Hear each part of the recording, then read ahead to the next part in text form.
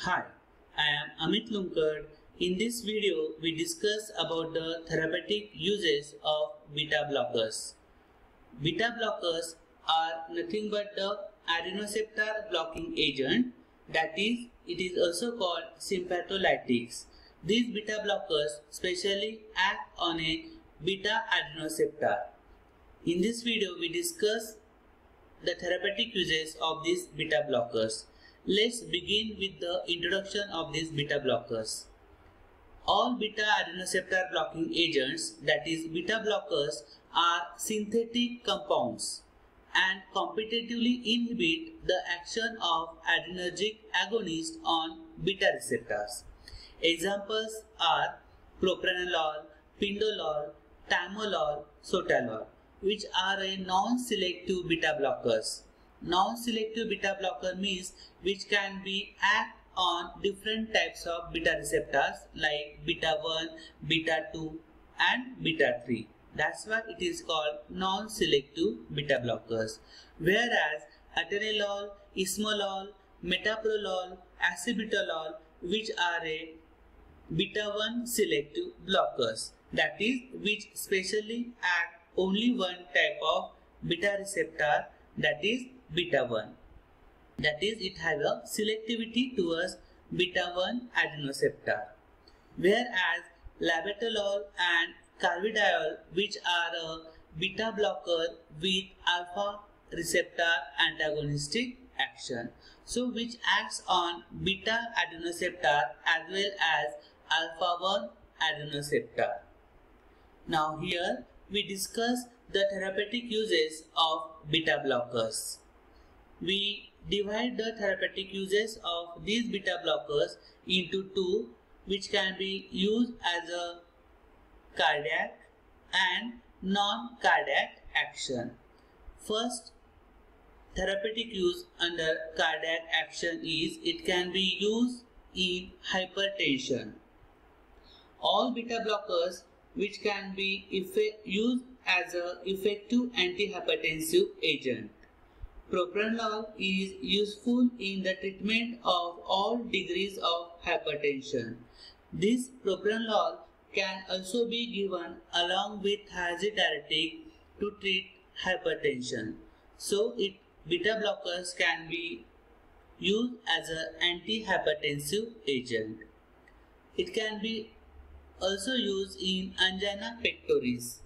Propranolol or nadolol may be used for the long-term management of patients with angina pectoris.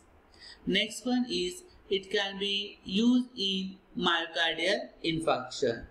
Propranolol and timolol are used clinically for the patients in myocardial infarctions and next one is beta blockers can be used to treat cardiac arrhythmias.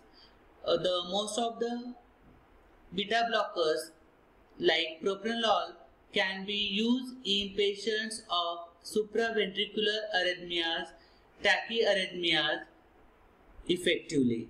So all these are the therapeutic uses of beta blockers specially uh, related to cardiac like use in hypertension, use in angina pectoris, in myocardial infarction and in cardiac arrhythmias. Whereas non-cardiac therapeutic uses are, it can be used in pheochromocytoma.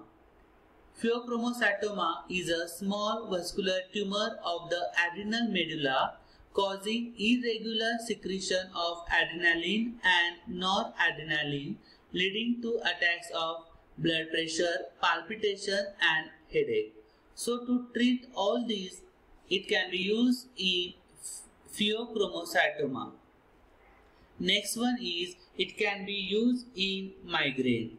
Propranolol is used for the prophylaxis of migraine headache. Next one is it can be used to treat hyperthyroidism. The propranolol which can be used to treat hyperthyroidism by reducing the peripheral conversion of thyroxine that is T4 to triiodothyroxine that is T3 and therefore because of this it can be used to treat hyperthyroidism. Next one is beta blockers can be used to treat Parkinson's disease and also in essential tremors.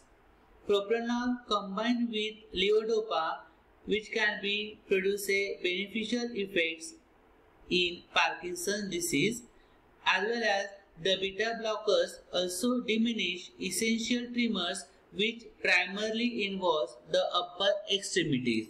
So all the beta blockers can be effectively used to use in Parkinson's disease and to treat essential tremor. Next one is it can be used in glaucoma. Glaucoma is nothing but there is an increase in intraocular pressure. So the beta blockers which lowers the intraocular hypertension by decreasing the production of aqueous humors and because of this it can be used in glaucoma. Uh, examples of beta blockers like timolol which are the best topical ophthalmic preparation which are available to treat glaucoma.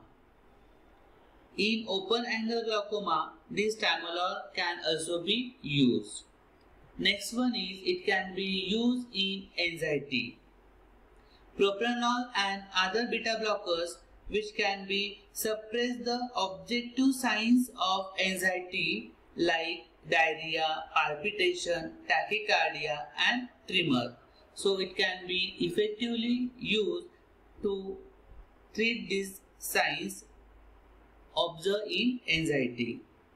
Uh, along with all these, propranolol also be uh, used in conditions like recurrent gastrointestinal bleeding in cirrhotic patients, in schizophrenia, tardive dyskinesia and acute panic symptoms also. So all these are the different therapeutic uses of beta blockers. Hope all of you getting this. Thank you and happy learning.